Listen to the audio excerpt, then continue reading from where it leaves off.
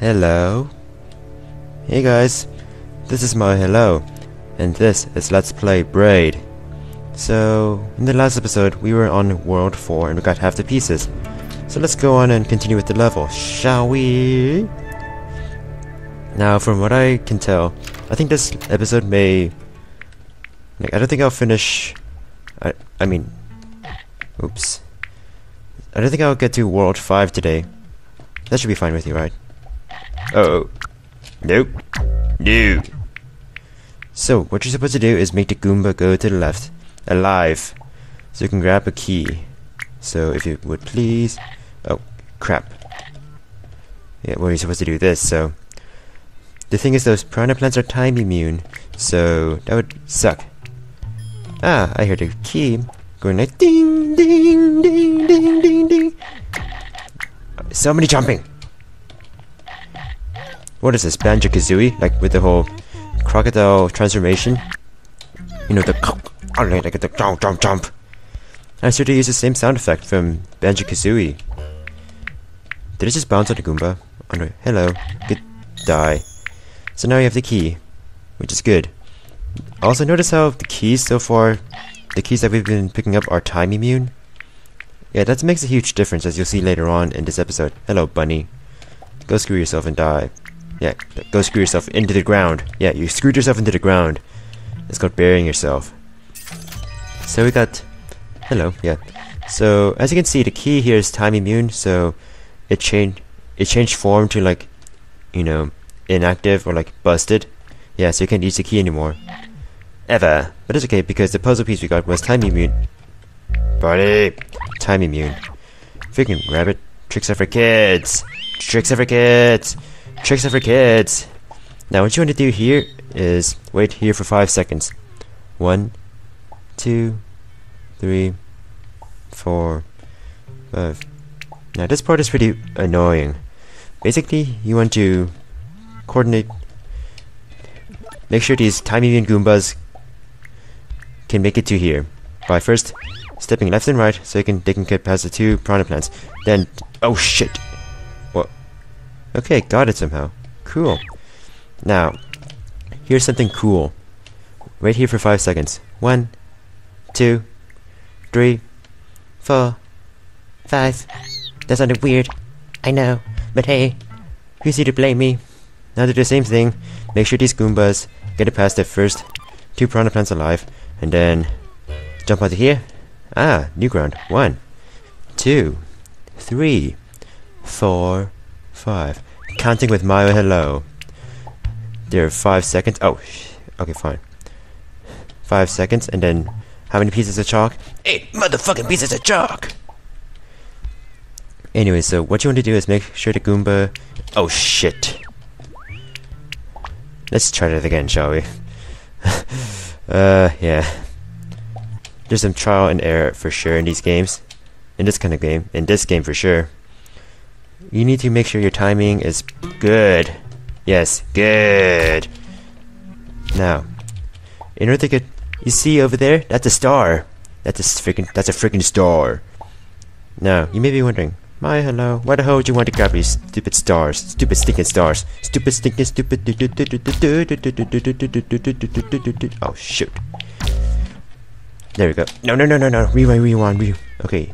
This is the tricky part. Coordinating the rewind so that. Coordinate the rewind so that. First of all. Oh. First of all, the piranha plant on the right does not jut out of the ground. And then make sure that Oh, oh! Make sure that the middle piranha plant doesn't also jut out of the ground as well. So yeah. So you can use this piranha Goomba to jump over this piranha plant that will always block your way. Cock block, yeah. oh.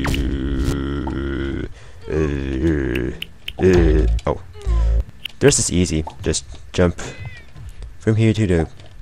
Well, let's see. Okay, uh, Okay, well, there we go. We got a goom. We keep bouncing a goomba and we got the star. Nice. Did you hear a little gong effect? Like, gong. Like, Japan. Or something. Gong. Asia. So, yeah. Um, so what's up with you guys? Apparently, Paranormal Activity t 3 is coming out. And, okay, um, I am going to, I already got the puzzle pieces, so all I care about is, all I care about is, alright, these are time immune, right. I forgot. So I'm recording this on Friday, and apparently this is when Paranormal Activity 3 was released, or came out. I don't like, I never watched the first one, I still have to. I watched the second one, and I talked about it before in Pokemon Crystal. It was like, oh, yeah. So look at those clouds, clouds and all. Like for me, horror movies and all, I never really, I'm not really into that genre. Not to mention I don't scared, get scared that easily, or don't want to. So I don't know. I don't feel, I don't really find appeal in horror movies. So yeah, but they said like paranormal Paranormal Activity 1 was, you know, phenomenal, I guess. Now notice how, yeah, so, try as you might, you can't get the Goomba past those two plants since their frequency is like so small. I mean, they've, they have such a small frequency, high frequency that, high frequency or a small period that they will pop up every time, like, look at that, boom, boom, boom, boom. So what you want to do is, but notice how if you're in these clouds, everything goes faster, like, Oh, that didn't work. That didn't work. That didn't work. Stupid, that didn't work. So now I was talking about movies. And, you know, it's time for scary movies, you know, right? Ah, he got the key. But, you know, it's almost Christmas. So that means it's... I mean, it, it's not... It's, it's only October, but come on. After Halloween, it's gonna be like Thanksgiving and then Christmas movies. Or maybe they might start Christmas movies in November. Who knows? Knowing the holiday craze and all and knowing how fast and eager they might be to do so. So, I don't like... Like, I remember being raised on ho the Home Alone movies, like, especially the first two ones. Especially the- oh no! Especially the second one. Oh, come on! You serious? You serious? Oh no. Come on! Oh this is bad. Freaking piranha plant. Okay, I'll just modify the face. Yeah, modify the face. The key, the timing being key will press against the door, and then you can just run. Yes, there you go. That's what you can do. Oh, shizzles. Shizzles, shizzles, shizzles, shizzles, shizzles, shizzle. And like, I personally like the second Home Alone movie more since I watched it more. Like, I have it at, I have it like on a recorded home video compared like, you know, Home Alone 1 which I've only watched one, a few times. Not that much. Like, people say that the first one is better, better than the second one, but being raised in the second one, I'm kind of biased. I mean, there are like a whole bunch of, but yeah. As for the third one, I thought it was, oh, right, I was supposed to go up there, right. Is it a huge ass cloud over there? Yes, well, well, let's see. Jump, and you'll be fine. You'll be fine. You'll be fine. Notice everything was in slow motion when you're on the cloud, like slow motion cloud. It's like the clouds in the bottom row there move in fast motion, so everything is in fast motion, which is how we got the Goomba past those time immune piranha plants. And the clouds on the top row are slow, like the one that we just were on. So, yeah. Oh, shut up, phone. Anyway. Um. I thought. Okay, oh my god, this level. This level was horrible. This is probably the hardest level in this world. And not just for the puzzle piece, too. There's a star piece here. I'm not gonna get it this episode, because I'm still practicing on getting that star piece. Or star. This is not Paper Mario. Now, how do you do this again? It's like... First of all, kill this Goomba. I said kill the Goomba! Shit!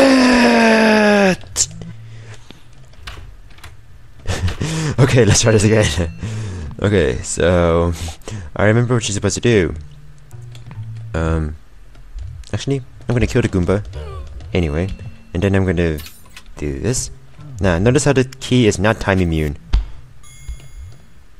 Which means that if you move backwards, the key will also move backwards. With or without you. It all depends. So that's what's called a fickle companion. Thank god these puzzle pieces are time immune. Now let's go rewind back in time. And let's kill this dude. And then, um... Now this part is tricky. Very tricky that I barely remember how to do it. Um... First of all, I think that Goomba is supposed to... Oh, come on, Goomba! Don't leave without me! Don't leave without me, dude! Come on, dude, I need you! And stuff. So, yeah. I was talking about Home Alone. Like, I thought the third movie was alright. Especially with the whole change in characters and the fact there's like four people. Even though there's like some sort of repetition, like, oh, look, Kevin did a false, you know, alarm call again. Or not Kevin, but whoever that kid is. Yeah. I guess one of the only things that one. Yeah. But I have to say, have you ever, have you guys ever heard about Home Alone 4? Yeah, they made a fourth one. Apparently it's like an interquel between the first two Home Alone movies. Judging by the many continuity errors, like so many continuity errors in a movie, which is not even a movie, but like a directive VHS movie, which shouldn't even even be that. It should be like more like a Disney Channel movie. Crying out loud, it was so bad. It was so bad. It's like, okay, so first of all, you know, um, Harry and Marv, right? Those two, you know, those two from the first two Home Alone movies apparently they kind of confused the two characters. So, a guy who looks like Harry, you know, a Joe Pesci lookalike or something like that. His name is Marv. Marv was the guy with the hair, the guy with the spider, and like, oh! and don't walk off. Shit. Okay, this is. I do have to admit, this is one of the more confusing. What? Oh shit! Oh shit! Oh sh! What am I saying? Shit all the time. But I remember how to. Oh shit! Come on. But yes. So yes. Um. For those. So yeah. They confused Marv and Harry. Like they fused them into one character. I guess. Yeah. So that's a, another minus point. Let's see. And even though. So the reason why I say Home Alone 4 might be an interquel between Home Alone 1 and 4 is because of Kevin's age, which is like between. Can you grab the key? which is between the ages of Kevin when he was between like he's younger than the Kevin from Home Alone 2 but older than the Kevin from Home Alone 1 and in that time I guess um, his parents have divorced for some unspecified reasons. Oh we were in a rut. That's the only reason. Your mom and I were in a rut. Cool story bro. I could care less about ruts. Okay. Now Die. Shit. Shit! Okay, as you can see, this is the hardest. This is one of the hardest puzzles in the game, for sure. Okay, wait, wait for the Goomba to pop out of the cannon so that he can ride this platform. Yes, yes, no, okay, grab it, grab it, grab it. No, shh! Okay. I hate this puzzle. I hate this puzzle. I really do. It's one I actually had to look up the guide for because I. Oh. Funny thing is, I'm talking about something I really hate, Home Alone 4, while doing a puzzle that I really hate. So, what more about Home Alone 4? Let's see. It was so. I mean, I'm not a fan of using the word gay in a derogatory sense, but that movie was so gay. I'm serious, it was so gay. It's like... I mean, it was like horrible actors and like, you know, and such and such. Horrible stories. It felt like a Saturday morning cartoon than a Home Alone movie. Oh, oh, duh, that's not know what I was supposed to do. Okay, I get it now, I get it now, I get it now. Um, brain farts much. Jeez. But yes, no. But yes, everything about the Home Alone 4 was so bad like the story, the or the lack thereof story, rehashed stuff. Oh, and the music. They use like some sort of pop music version of Jingle Bells, like something sung like sung by one of those recent, you know. It was so bad. Oh, and don't and don't get me started about. Whoa, what was that? What just happened? I don't know.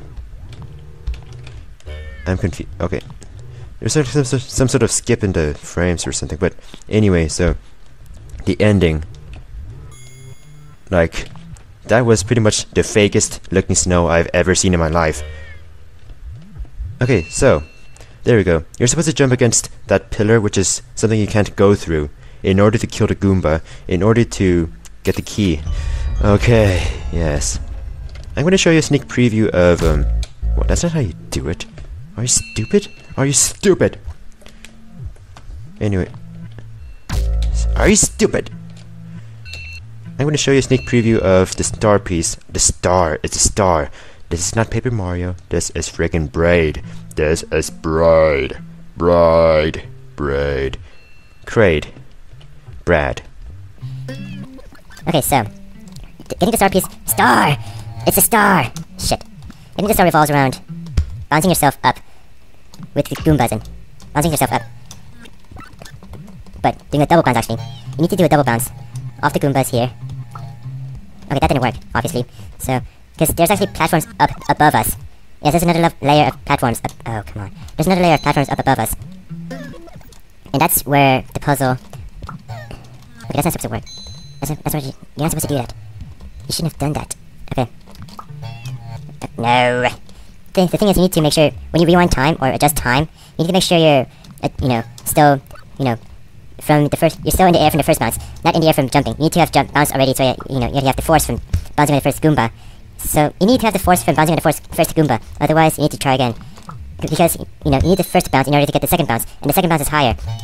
Now the objective of this part like, you need to do Goomba bouncing twice here. Or a few more. Oh, no. See? See how it's like, you know, falling to the right? Oh, I was supposed to fall to the left. Oh, no, no, no, no, no, no, no. Shit, shit, shit. I hate when this happens because that's when you screwed up. Like, this is not supposed to happen. Yeah. So, yeah. As you can see, this is a very bad star piece. Star! Stop calling them star pieces! They are stars! Stars! They are whole stars.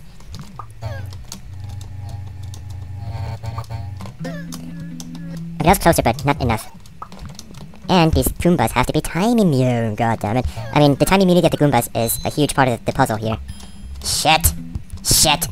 Shit. How many times have I said shit in this episode? And why am I saying shit so much these days? Like, I barely, that's one word I barely say.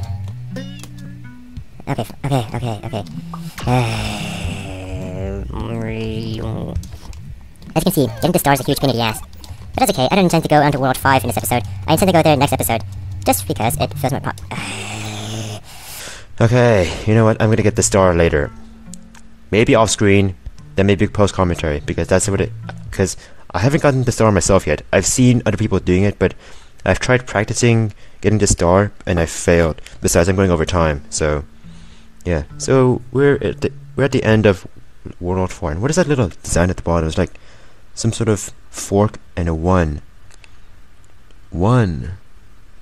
Is it a reference to World One? But no, I never noticed that before, so I didn't know actually. But yes, here's the flag. Hey, we still have the key. Cool. And so in order to read, in order to read his, his text, time needs to move forwards. So we need to walk walk forwards. Hello there. Hello there. I'm sorry, but the pr- hey, wh where are you going?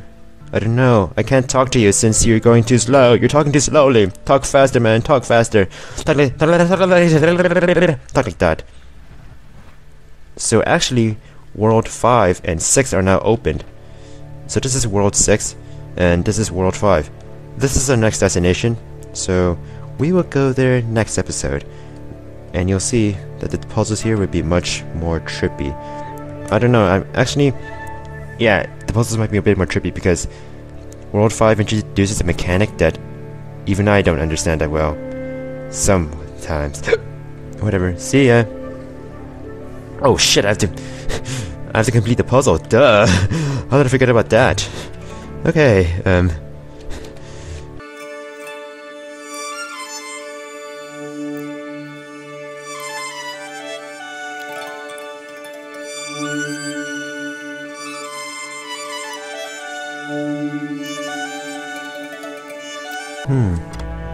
So judging by the story from Time and Place, I think that's maybe Tim revisiting his childhood bedroom. And in place, since this is a place of his childhood, he's also reminded of his childhood. That's what I can guess. What does this have to do with the main story? I don't know!